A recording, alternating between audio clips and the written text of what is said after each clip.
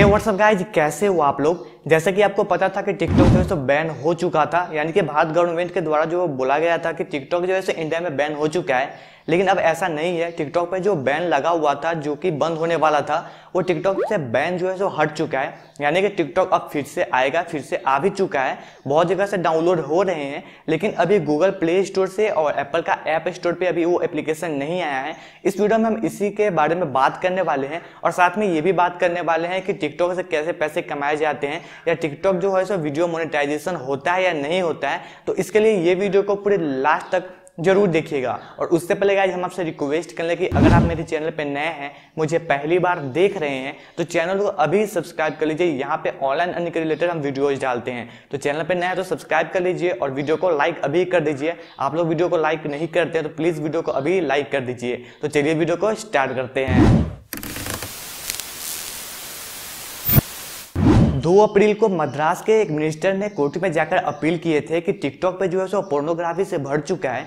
कहने का ये मतलब है कि टिकटॉक पे बहुत अश्लील वीडियोस बनते हैं और लोग फ़ेमस होने के कारण किसी भी तरह के वीडियोस बना रहे हैं फ़ेमस होने के लिए। तो इसके लिए मद्रास के एक मिनिस्टर ने अपील किए थे कि टिकटॉक को भारत में बंद कर दिया जाए, क्योंकि यहाँ पे जो है सो बहुत सारे बच्चे हैं, जो टिकटॉक पर दिन भर लगे हुए रहते हैं और काफ़ी सारे वीडियोज़ बनाते हैं। और ये जो है सो यहाँ पे इंडिया के कल्चर के रिलेटेड यहाँ पे बहुत गंदे गंदे वीडियोज़ भी बनाते हैं तो इसके लिए जो है सो अपील किए थे कि टिकटॉक को भारत में बैन कर दिया जाए। पर यहाँ पे जो है सो टिकटॉक की तरफ़ से बोला गया है कि टिकटॉक एप्लीकेशन जो है, सो बहुत सारे वीडियोज़ को डिलीट किया है, जो कि बहुत गंदे गंदे वीडियोज़ थे। लेकिन टिकटॉक ये भी कहे हैं कि एप्लीकेशन बहुत अच्छा है, उस पर लोग अगर आकर गलत वीडियो बनाते हैं तो इसमें एप्लीकेशन का क्या गलती है? तो इसके लिए जो है, सो टिकटॉक पे ये सब कुछ चला। तो दो अप्रैल को जो है, सो इसमें बैन करने का जो है, सो मतलब कि याचिका दायर किया गया और 18 अप्रैल को प्ले स्टोर से और एप्पल ऐप स्टोर से टिकटॉक को हटा दिया गया।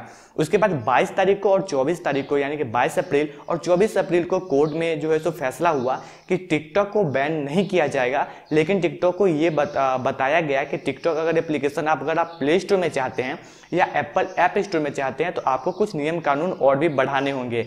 जैसे कि टिकटॉक पे क्या है कि अभी 12 साल के ज़्यादा के जो भी बच्चे हैं जो भी हैं वो टिकटॉक बना सकते हैं। तो इसको हो सकता है तो 12 से 16 कर दिया जाएगा और नहीं तो 18 कर दिया जाएगा क्योंकि टिकटॉक पे बहुत छोटे छोटे छोटे बच्चे भी अकाउंट बना चुके हैं और उस पर जो है सो यूज़ कर रहे हैं। अब इसमें काफ़ी लोग को ये भी क्वेश्चन है कि भाई यूट्यूब से आ, मतलब कि जैसे पैसे कमाते हैं वीडियो को अपलोड करके क्या टिकटॉक से भी पैसे कमाते हैं? कल भी एक भाई ने मैसेज करके पूछे थे और ऐसे हमेशा पूछते कि भाई टिकटॉक से पैसे कैसे कमाते हैं लोग? क्या टिकटॉक भी पे जो वीडियो अपलोड करते हैं तो यूट्यूब के तरह ही पैसे कमाते हैं?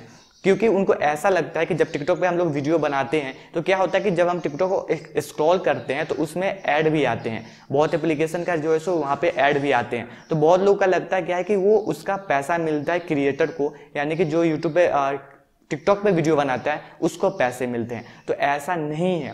बहुत लोगों का लगता है कि टिकटॉक से पैसे कमाए जाते हैं तो ये तरीका नहीं है वीडियो अपलोड करके कोई भी पैसा नहीं मिलता है। बस ये इंटरटेनमेंट के लिए है, जबकि वहाँ पे अपलोड लोग वीडियो करते हैं। अब यहाँ पे ये भी है कि बहुत लोग क्वेश्चन करते हैं क्या ऐसा होगा?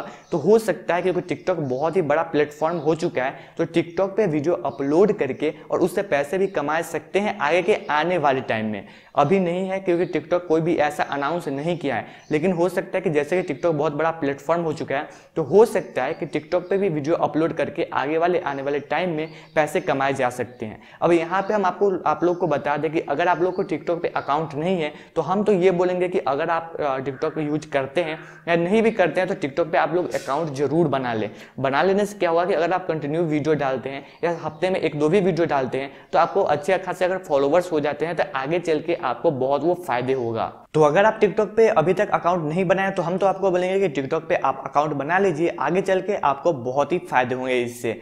उसके बाद गाइस हम एक और बात बता दें कि जैसे कि टिकटॉक बैन हुआ था, वैसे इंडिया में टिकटॉक ही जैसा एक और एप्लीकेशन लॉन्च होने वाला है। तो ये जो है सो लॉन्च होगा तो टिकटॉक ही जैसा होगा। मतलब कि कहा नहीं गया है कि टिकटॉक ही जैसा होगा, लेकिन ऐसा ही कुछ एप्लीकेशन इंडिया में बहुत जल्दी लॉन्च किया जाएगा, जिसमें आपको टिकटॉक ही जैसा वीडियो को अपलोड कर सकते हैं और उसमें भी आपको सारे ऑप्शन मिल जाएँगे।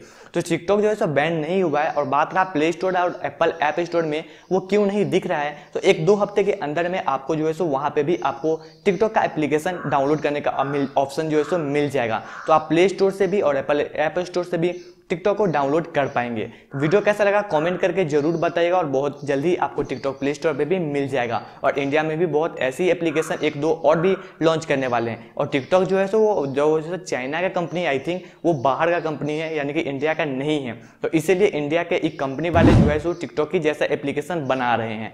वीडियो कैसा लगा कॉमेंट करके ज़रूर बताइएगा और चैनल पर नया तो सब्सक्राइब कर लीजिए। मिलते हैं एक और नेक्स्ट वीडियो के साथ। तब तक के लिए ख्याल रखिए अपना। Goodbye, take care. to